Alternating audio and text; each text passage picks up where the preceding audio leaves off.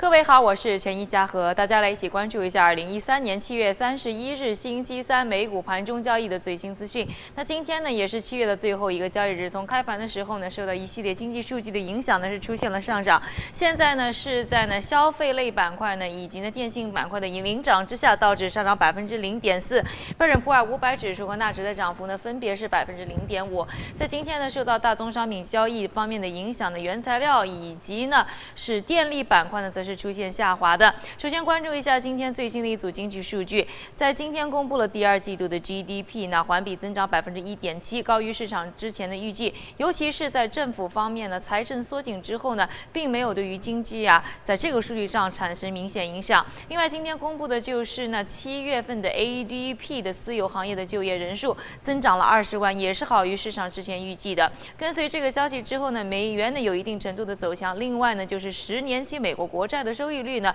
出现了飙升，市场在等待呢，稍后联储结束两天会议之后呢，最新的一些声明和决定。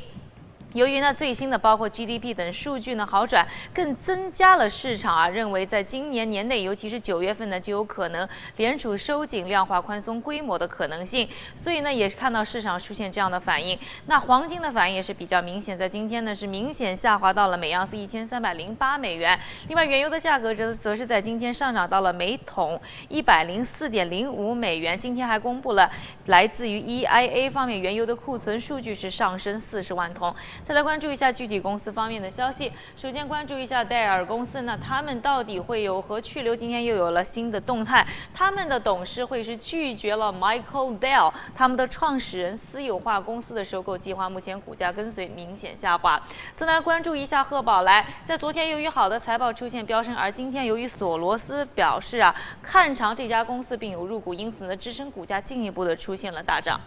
呃，在今天啊，一系列的信用卡公司应该说股价都不错。像 Mastercard 一方面，由于他们整个上个季度的盈利好，支撑股价上。另外呢，就是呢，美国法院方面呢是做了裁决，那认为啊，联储呢要求这一些呢，这个银行卡要设置呢收费上额是这个这样的一种规定呢是不可以实施的。因此呢，对于呢这些银行等股票呢，还有像 Mastercard 这样的公司都有支持。